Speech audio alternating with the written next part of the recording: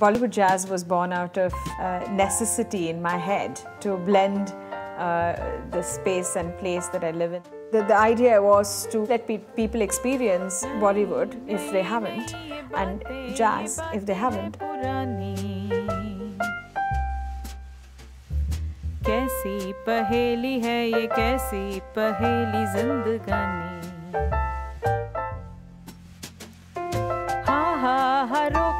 ये किसने हाँ ये तो बहता पानी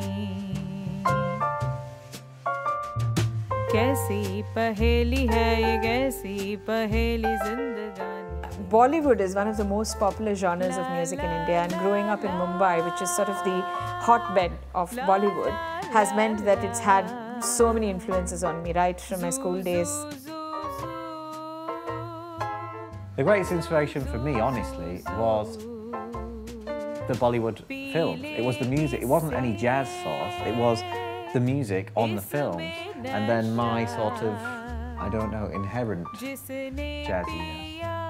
I've brought all those childhood influences into this project and encouraged the band and myself to explore pieces that are uh, super hits, identifiable, as well as new pieces. It all felt very natural, it felt very fluid, and I think the audience really responded to the, the sense of um, chemistry, if you like, that we've been able to build up between different members of the band.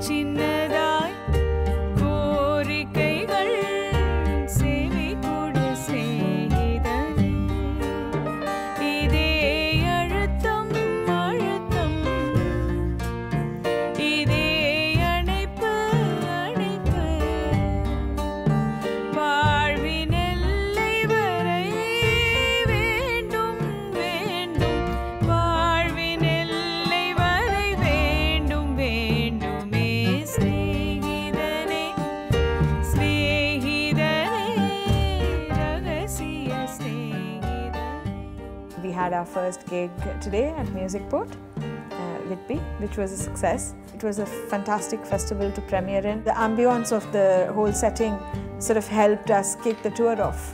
For the first gig, this was a really nice piece of work. Uh, we enjoyed it on stage, and I think everybody enjoyed it around us as well. I think Bollywood jazz, hopefully, uh, once it's successful, will go places, and we hope to tour it nationally as well as internationally.